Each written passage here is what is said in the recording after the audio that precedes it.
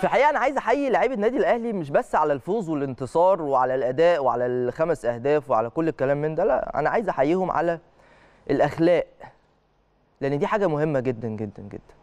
عايزين نشوف فرحة لاعبي النادي الأهلي بعد انتهاء المباراة. الفرحة فين؟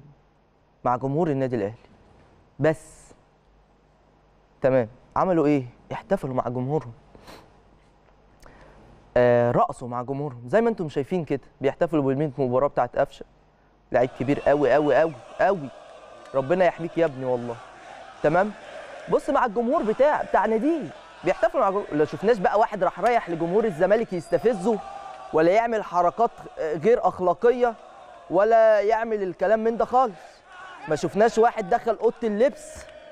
مفيش أي مفيش أي واحد في أوضة تعال نسمع طب دي الأول. نسمع كده إزاي بيحتفلوا لاعبي النادي الأهلي وأخلاق لاعبي النادي الأهلي.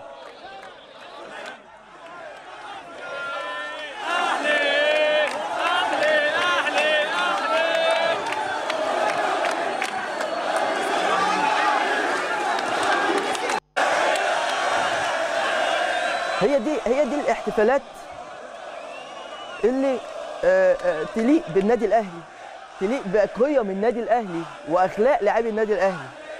هي دي القيم يا جماعة اللي إحنا بنقول عليها. أهلي أهلي أهلي أهلي.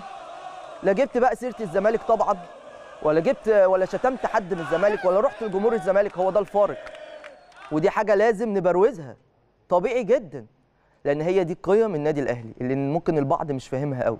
فاحنا بنوريها لحضراتكم بنبينها لحضراتكم بنظهرها لحضراتكم.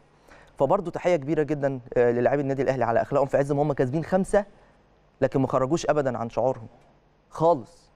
بيحترموا النادي ال- ال- الزمالك وبيحترموا جمهور نادي الزمالك لأنه طبعا جمهور كبير جدا ونادي كبير جدا وكيان كبير جدا. ما حدش يقدر يختلف على كده ابدا ابدا ابدا.